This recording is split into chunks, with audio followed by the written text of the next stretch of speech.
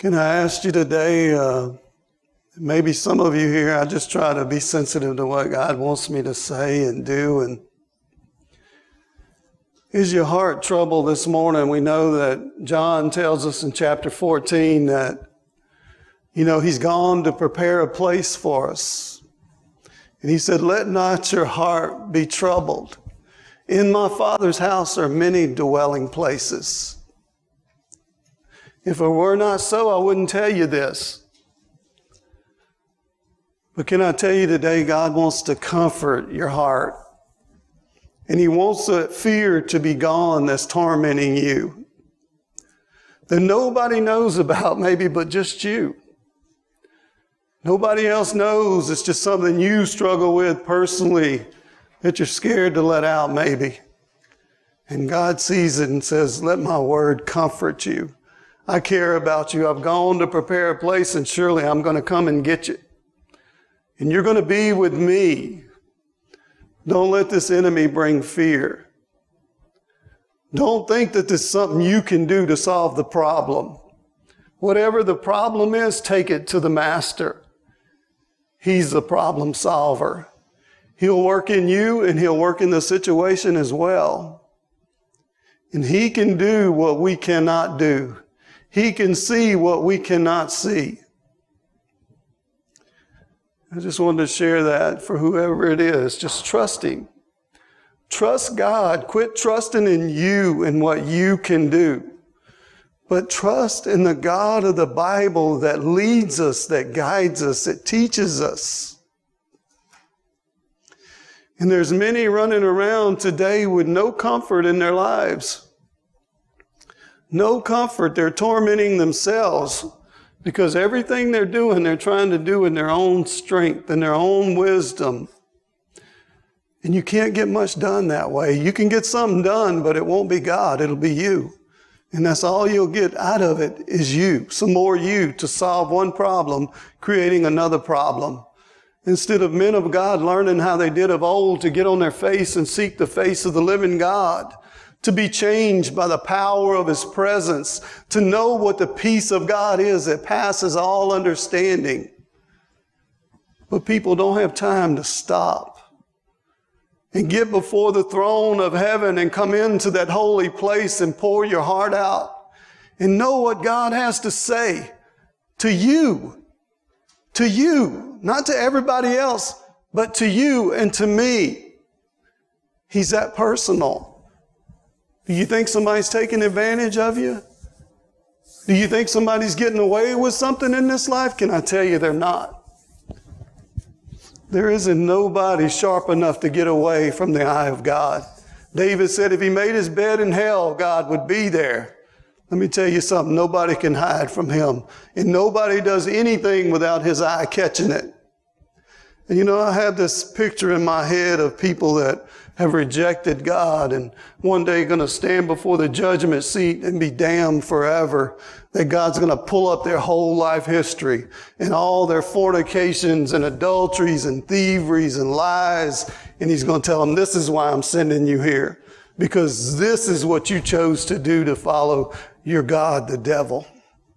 And this is the influence that you chose to be under not the people of God and not the house of God. And you're going to reap the reward of what you've sown. Because wages of sin is death and separation from God. And many there are going to be that go in there because of their choices and think their conniving mind is the answer of all things. And they're going to make it and they're going to be successful and they're going to do this and they never find contentment in life and everything is another love, another running after something of this world. And they've not learned to be comforted by the living God and by the word of God and being changed by the power of his presence. Can I tell you the power of God will change you? The power of God will change you. The power of God will take away that thing that binds you and set you free and set your feet dancing. I'm going to talk a little bit about today what I kind of had on my heart as I sought the Lord is the rapture of the church. The church mainly is what I want to talk about, but the rapture of the church and some of the darkness that we're dealing with that people go to and fro every day and they never take time to think about this. And they're just kind of running their, their race and, and kind of oblivious to things. And I know in, uh, well, let me, let me turn over there. And uh, I had a few things I jotted down. If you guys have your Bibles, you know, or paper, pen, or anything, that's fine. And the thing of it is, is I feel, I feel personally that we are living in the last days. I honestly feel that with all my heart. And I wish I could express it to you in a greater way, but I can't. And I feel like the Lord's been preparing me personally for his soon return. And I'm finding comfort in the Word of God to be able to go home to be with the Lord because I want to be with him. And you know, you see it in scripture where they wanted to be with the Lord. Paul talked about it. He said, it's needful that I stay, but I would rather be with Jesus. I would rather be with the Lord, but today people would rather be here because this is their home. They're not a pilgrim anymore. They're an earth dweller. And everything that life's about is here. Whatever the fancies of this life have, that's what we're about. And that's what you see a lot in the house of God and in different things as I watch and as I listen and as, as I see the preachers of today, the amusement of preaching and the uh, enjoyment where the crowds and the masses sit around. And, the, and they have a story like, I'm going to church, or we had church this morning. Beloved, we are the church. We are the church. Are we living like the church that's ready to meet Christ? Are we living in a way that this world doesn't have us tied to it? But we're waiting for that blessed hope. There is a blessed hope. Are we waiting on it? Are you ready to go today? Titus 2:13. We're to be looking for that blessed hope. Are you looking for Jesus today? Am I looking for Jesus today? Do I want to be changed in a moment, in the twinkling of an eye? Do I want to hear that come up hither? Do I want to go be with Him? Many don't realize the day that we're living in. They don't realize the hour that we're living in. I believe that time of Jacob's trouble is not too far away. I believe the 70 weeks of Daniel is about to take place that week. I believe that seven years of tribulation is coming on us. Not too long. I believe the church is going out, and I believe there's enough scripture to, to support pre-tribulation leaving here. If you look at all the things that's happening, you look at the way the church is laid out, you look at the catching away of the church, you look at the tribulation period, you look at the Lord coming back at the end of that, you look at the millennial reign, you look at all those things and the way they laid out you, you see scripturally how all this fits. And many are not even looking at the Word of God. They're like Jeremiah 6.10. They're dull of hearing. They basically have no delight in the Word of God anymore. You can't get them to come out to church. The pastor, or whoever the teacher is, has got to preach something that's so enjoyable that they're tiptoeing and, you know, and so excited or they're totally amused by what the guy had to say, and they don't realize that they are the church. You and I are the church, the body that's going to go and be with the Lord. Are you ready? Are you comforting others with Jesus is getting ready to come? Are you comforting others with Jesus is getting ready to come? Are you sharing your faith is there a burning flame within your heart and within my heart? Or is there just trouble and turmoil from this life in your heart? Is it just one thing after another? Is it just pain in this life? Is it misery? What is it? Are we excited about Jesus Christ? Are we excited about going and being with the Lord? Are we ready to shed this body and take on a, a new body? You know, when Jesus was resurrected, and he came out of that grave, his body came out. And we're going to have bodies, beloved. We're not going to be floating around on some cloud, but we're going to be busy serving Jesus in the millennium kingdom. In the millennial kingdom, we're going to be serving. And you know what? the rewards that you and I take with us, not, not our salvation, your salvation, I'll be clear. God gives it. Jesus paid the price for it, and we can't add a penny to it. But you know what? We have works that's going to follow us in. And as the talents were given out, one day we're going to stand before Him and what we did with the talents that God give us in the call of God on our life. What did we do with it? Did we run from the call of God? Maybe we didn't want to do it, but we were willing to say, I don't care if I make a fool of myself. I'm going to get up there and I'm going to do it because that's what God says to do. That's where we got to be.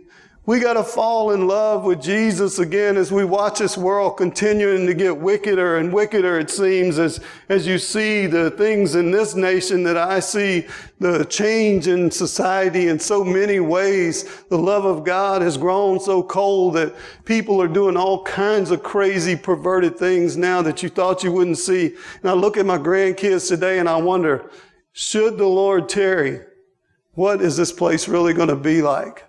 Is it just going to be a place where it's nothing but devils, nothing but wickedness?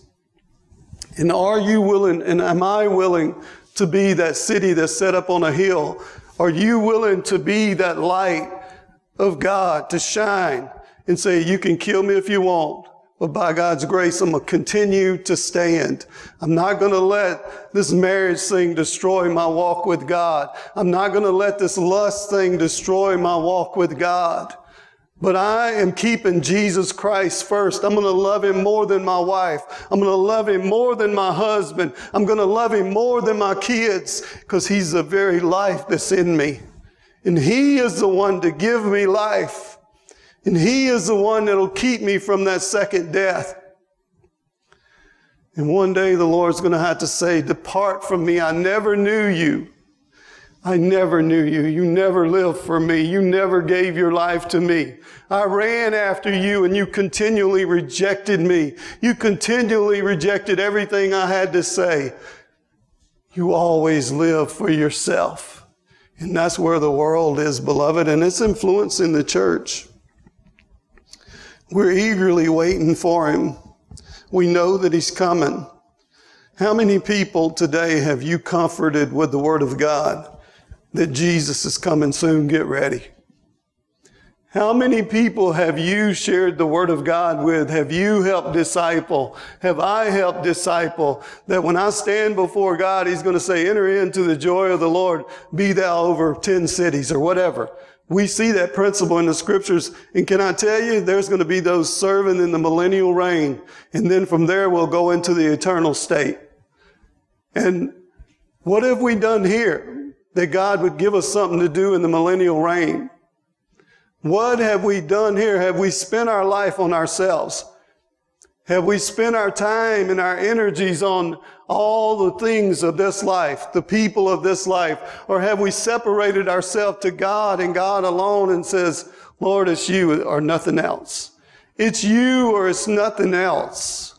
It's you and only you. And the joy that I have will be because of you and not because of things. Because can I tell you, your money's going to perish. Everything in this life is going to perish, but what you take you is the lives you've affected, the way you've lived your life. Have you been an example to others? Wife, have you been an example to your husband? Husbands, have you been an example to your wife? Have you lived a godly life and said, I'm going to serve him. No matter what, I am going to serve God because he is the one that set me free from the power of darkness in my life when chains were holding me down. He came and loved me when nobody else did. When I was unlovely, when I was in my vile condition, He came and ran to me. He said, I'll take care of him. Whatever else you owe him, I'll give you the money. Put him up.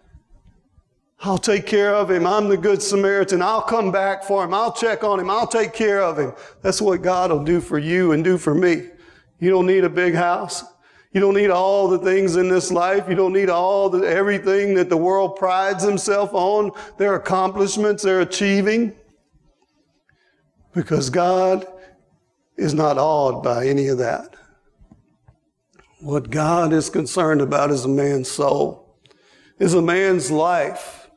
is the way that man lives his life and sows into the next generation that preaches Jesus Christ is coming back, that understands the Great Commission, that Jesus died for humanity, that man could be saved through him. If man would preach it, God uses men. And if men don't do it, the work doesn't get done. Can God step in? Yes, He can. But God uses men. He adds to the church as he sees fit, but he uses men that are sold out to him that can share the truth with somebody else to keep them out of that place where the wages of sin bring them and destroys them. In the end, I can hear the cries of people saying, I wish somebody would have been for real with me.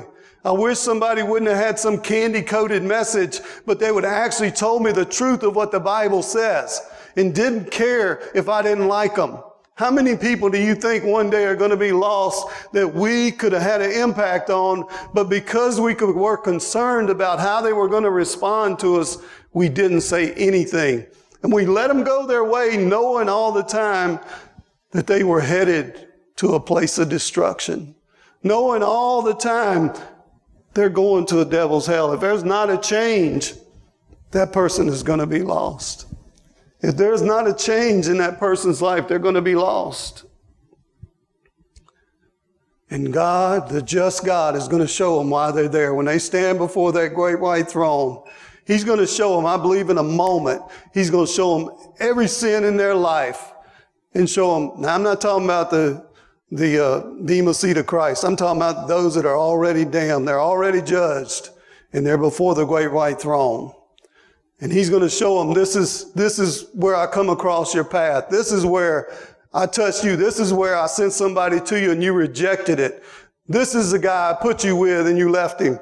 This is the lady I put you with and you left her. You didn't have nothing but just lust within you and you could never satisfy the craving that you had for the opposite sex or whatever else it is. And you did not fear me and you will answer for it.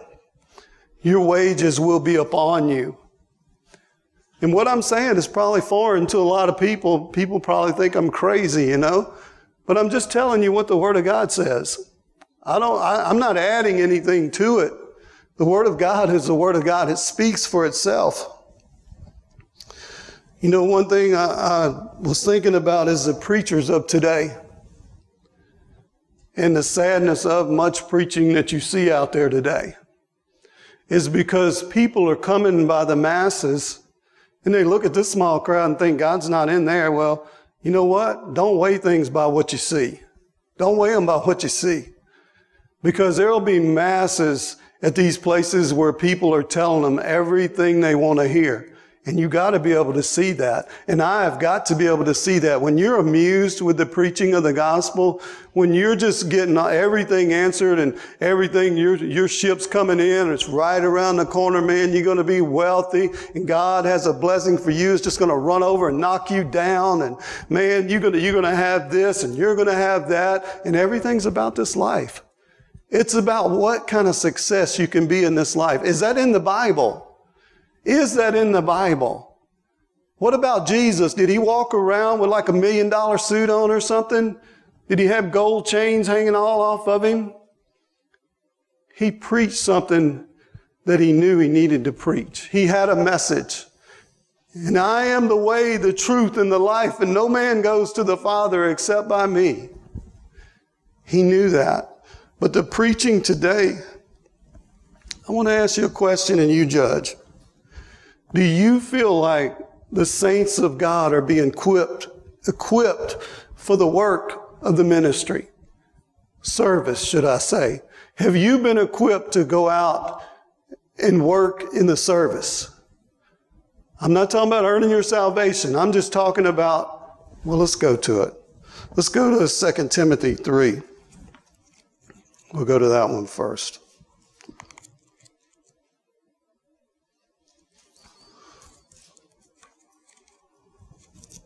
Let me see where I'm at. So I had a couple scriptures I kind of got out of sync. Second Timothy. Let me make sure I got my ducks in a row here, guys. Timothy 3 16 and 17. It says, All scripture is inspired by God and profitable for teaching, for reproof, for correction, for training in righteousness, so that the man of God may be adequate equipped for every good work. Some says service. Are, you, are the people in church today, do you feel that the house of God overall is being equipped? Do you feel like they're getting reproof? They're getting correction. They're getting instruction. They're getting doctrine. They're being taught. They're growing in grace. They're able to rightly divide the word of God. They know what their position is. They know what their call is before God. And they are committed to doing whatever it is that God has for each individual to be doing. And I can tell you one thing God has for every one of us to be doing, and every one of us have at least one gift, and that's to preach this gospel and to follow the Great Commission. To preach this gospel, Matthew 28, 18, 18 through 20. Are we preaching the gospel? And you know what? Because there's such a great apostasy in the church today, because people want to just have their ears tickled, it's going to be harder for you and me to preach this gospel. But can I tell you, don't be ashamed of the message of the Bible because you're going to be mocked. You're going to be hated. I'm going to be hated. People are not going to like you. You're not going to be real popular. When you tell somebody, hey, that's not, that's not the gospel. That's another gospel. That's not the gospel of the Bible. That's not the God of the Bible that'll change you.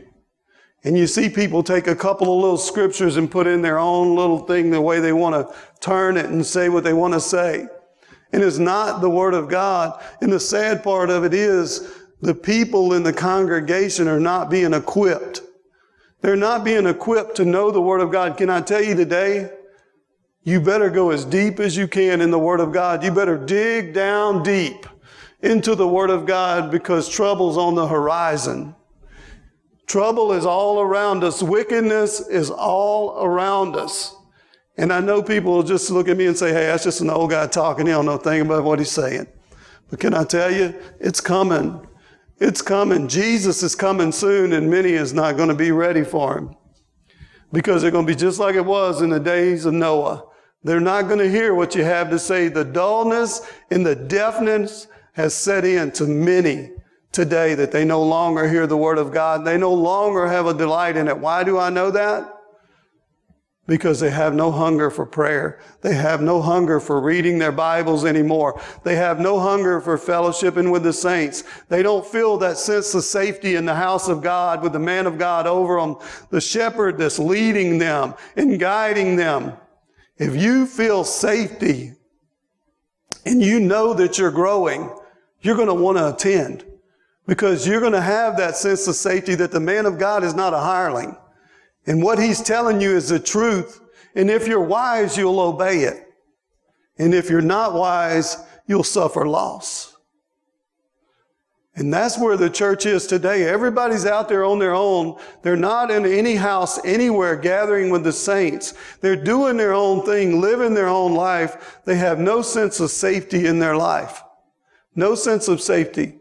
Can I say the man of God is everything? We know Jesus is the great shepherd, but there are men of God that are established, apostles, prophets, evangelists, teachers, pastors, and they have a job to do. They've been gifted by God to do a task, if you want to call it that. It's the call of God on their life. And when you find it and you find men of God that are for real and they're not up here just to get some kind of, you know, uh, whatever, you know, that they get some kind of respect, I guess, or whatever you want to call it.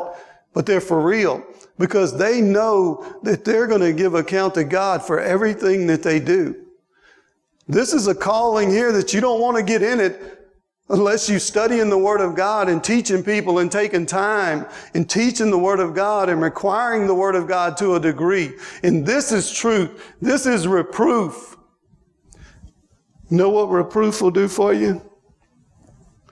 It shows me where I'm wrong. Has anybody ever showed you where you're wrong? Or would you just be offended and walk out the door and I ain't never coming back there? What does correction do? It shows me how to get right. It shows me how to get right. Are we using the Word of God, the teaching? Is it profitable to us? The Word of God is not going to be profitable to you and to me if we don't receive it. If we think, I don't have to receive that. You look at it historically. You look at the early church. They knew who their leaders were. They knew who those servant leaders was. They set the example.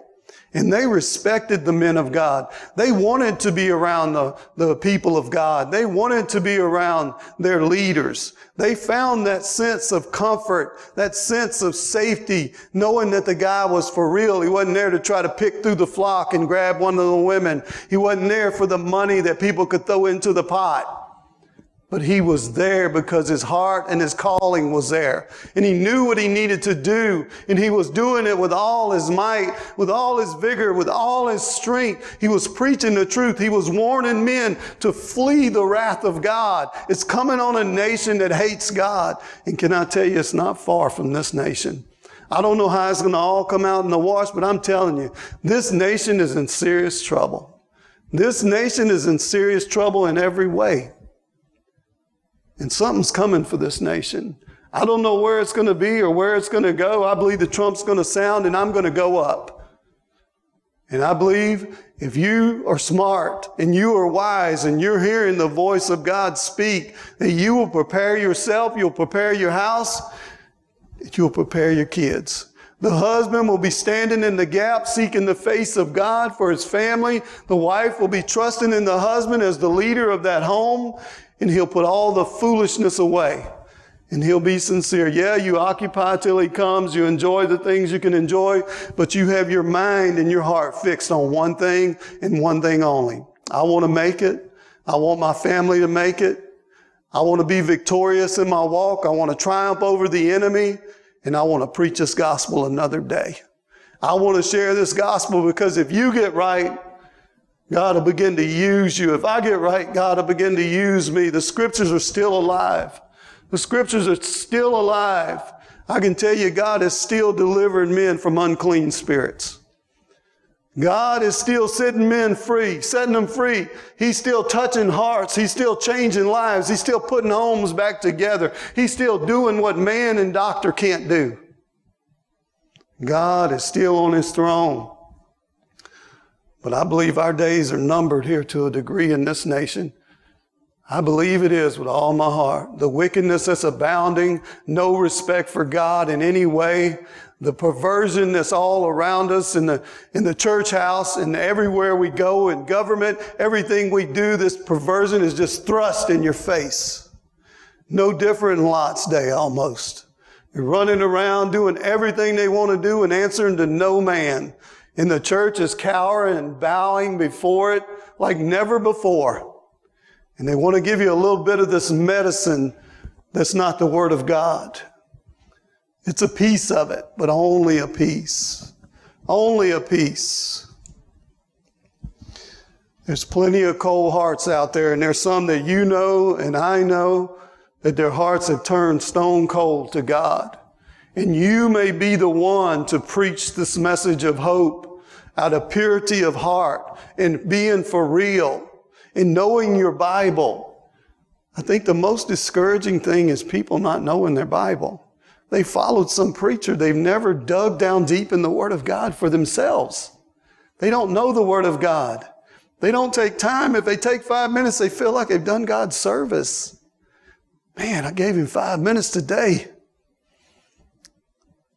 We have got to get back to the basics of the Word of God. We're living in the last days. We're living in the time of the great apostasy. We're living where many are gathering in the house of God that hearts are not for God. They are gathering there, and they're gathering there for a message of feel good. They are not the church. They're coming to church. They're going to church, but they are not the church. And that's where we got to be able to discern the difference. That's where we got to get to because Jesus is coming back. Are you ready? Am I ready? If he comes today, are you comforted by, if I told you Jesus is coming at four o'clock today, Would your heart be excited? Would you be overwhelmed with joy? Would you be, praise God, I've been waiting on this. I am ready. You know what? If you're carnally minded, fear is going to come up on you. If you're naturally minded, you're not going to be wanting that. You're going to be saying, hold off. Give me another day. Give me another day. Let me get right. I thought I was right, but uh, now that you're coming, I realize I'm not really right. It's going to be a sad day one day when the Lord shows himself and people are revealed for who and what they really are and those that thought they'd been able to hide some little something. And God, yeah, God will tell them, I got you. You thought you were doing this, but I'm doing this. Nobody's getting away with nothing, beloved. The wages of sin is death, and every man that's doing it is going to face death. Unless you've come under the blood of Jesus Christ, you've put your faith, you've put your trust in Him, you quit playing games, you quit running with the world, you quit trying to be entertained by friends and people at work, and you love your husband, you love your wife, your focus is biblical, and that's all you're concerned about. That's all you're concerned about. Are you persuading men today? Am I persuading men? Are we fulfilling this great commission? I know that many preachers are not fulfilling the call of God on their life because I can tell by what they're preaching when I sit and hear it. I just sat and heard something uh, last week and I realized, man, that sounds good. I want to get up and get excited about this. But then I realized, hey, man, you talking to my flesh. I could jump and dance on that one. Yeah, because everybody wants to hear good things. Everybody wants to be amused. Everybody wants to be told how great they are. Everybody wants to be told a million dollars is around the corner. Just run around and get it. And the foolishness of Christians not even knowing the difference. And people that won't gather for the house of God. People that don't find a sense of safety there no more. They don't find that safety in the man of God leading. And they're out there on their own running to and fro and daddy's leading them down a road of destruction because there's nobody in their life speaking to that family as no proof, reproof. There's no correction. There's no instruction. And you got the Lone Ranger out there that knows nothing about the Bible, going to lead them off to a place they don't want to go. And others have no concern if they did, they'd tell them. They would at least put you in the innuendo there or something. They would have something to say. Where are we at as a people? And I'm not talking about just this congregation here. I hope you guys see that. But it's as a whole. As a whole, where are we at? Are you ready? My question is, are you comforted today by Jesus getting ready to come back? And I know I'm hitting on that a lot, but I feel it so real within me. So real. I want to talk a little bit about the darkness here a little bit about the darkness because I think a lot of times we as a people don't really see it. You know, in the fall, when, when Satan was cast down to the earth, there wasn't only Satan that came down, but there was a whole host that came down with him. And you see it clearly when you read the Gospels. When you see Jesus walking, you see the man in the tombs that's been chained. You see Mary Magdalene, whom seven devils were cast out of. You see different ones bound, a little boy falling into the fire. You see so many different things that you and I, if we look at that, we know that there's many unclean spirits in the earth realm. What did Job say when, when God, when God, when uh, Satan come up before God? In the book of Job, he said, I've been walking to and fro in the earth. We have an enemy out here that if you're not praying and you're not building yourself up, it's a gravitational pull. You're going to go back to sin. Because sin is in your members. Demonic power is all around us. I don't care if you can't see them. They're there. And if you look through your Bible and you have faith in God and you look at your Bible, you can go all through the New Testament, even the Old Testament believers. You can see where they knew there was a devil. They knew that there was demonic power. You could see things. And for some reason today, especially in our nation, people don't believe that. They, they, they, they kind of say, yeah, but they don't really believe it. And you look at people that's committed massive murders and are cold as steel in the wintertime in the snow. There is nothing in them that has any kind of remorse. And that's where our nation's going. And that's where the hardness of heart has come to the things of God. And that's why before long they'll kill you and think they're doing God's service. And can I tell you, if they're hugging you, you're probably not living the right gospel. Because they're going to hate God's people, which means they're going to love them less. You're not going to get that position you thought you were going to get, maybe. Something may happen in your life and you not be all this to them. You know? But the church has got to wake up and get ready.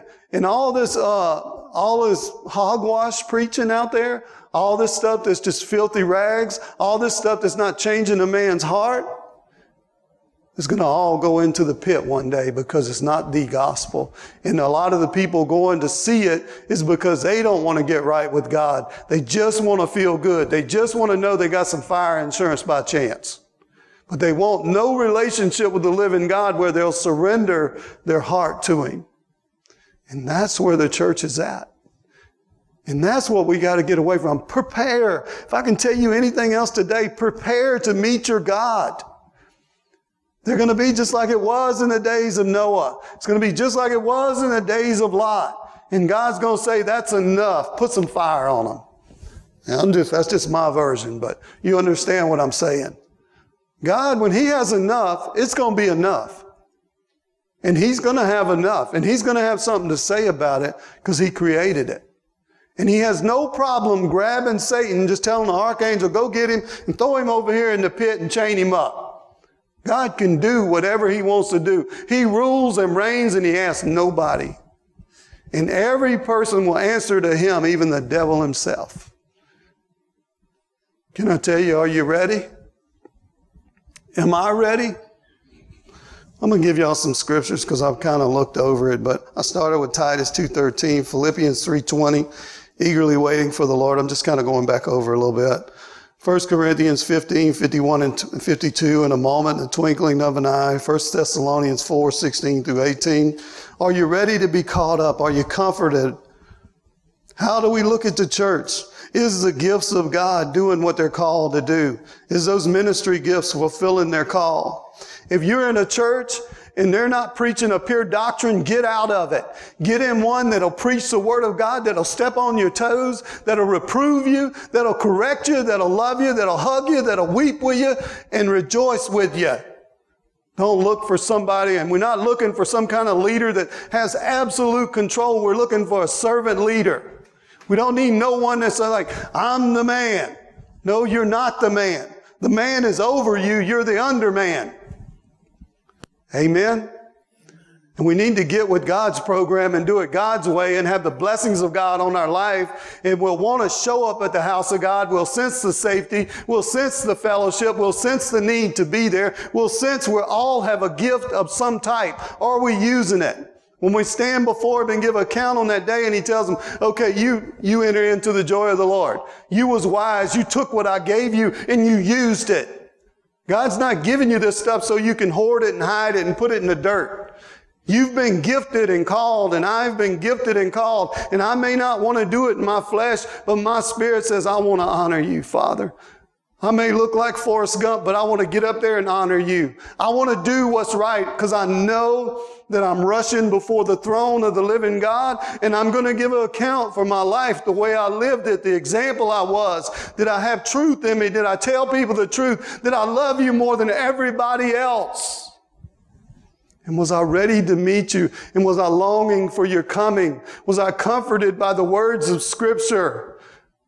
Or was my heart troubled? Was I running from you? And I'll go on here. 2 Timothy 3, 16 and 17 talks about the scriptures being profitable. Matthew 28, 18 through 20 is a great commission. The entire body is involved in the great commission the entire body.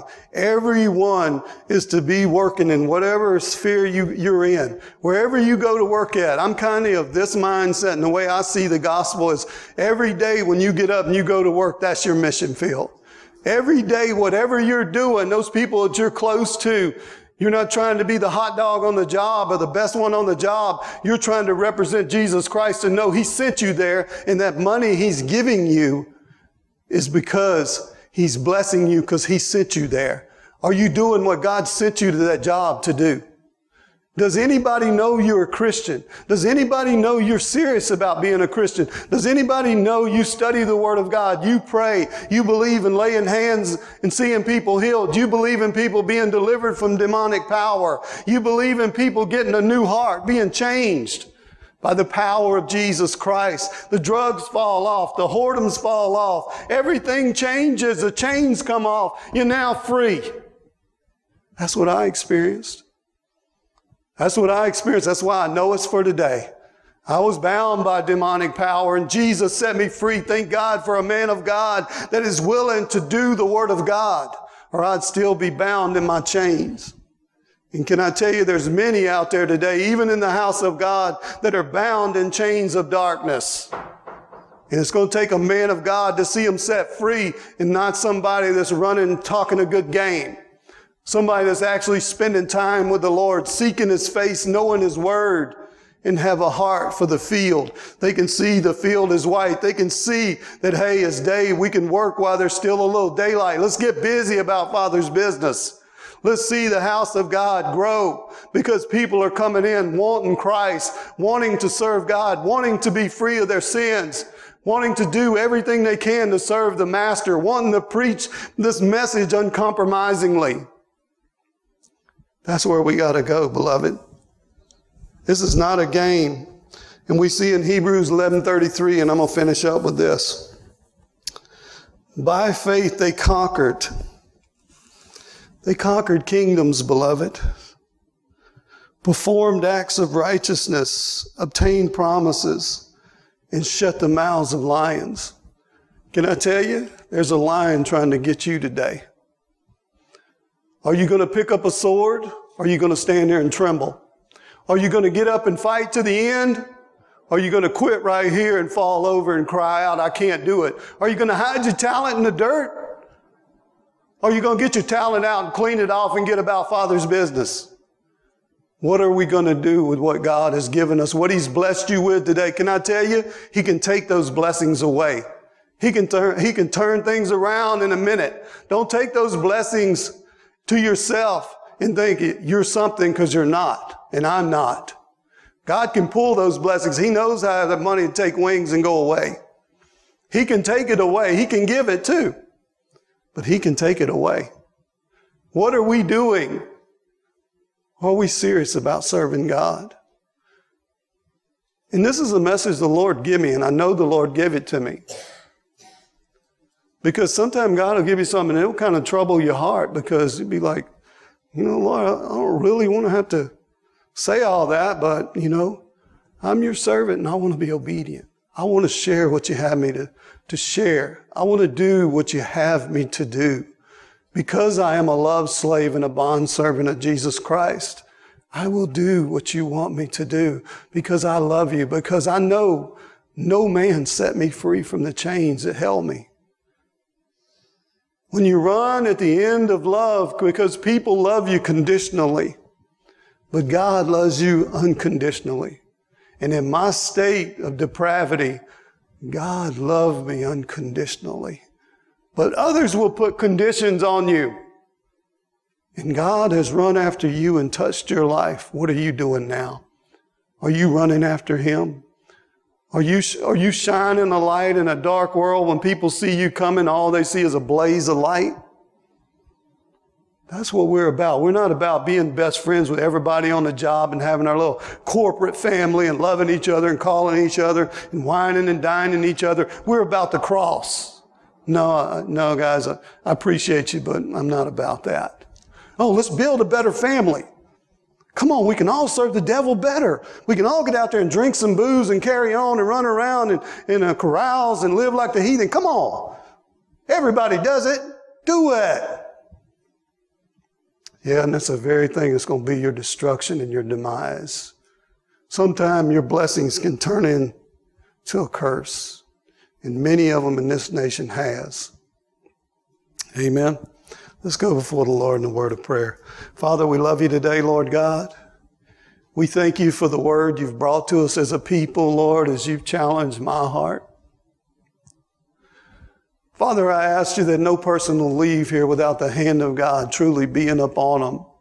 And when they leave here today, this thing will richly be within each one.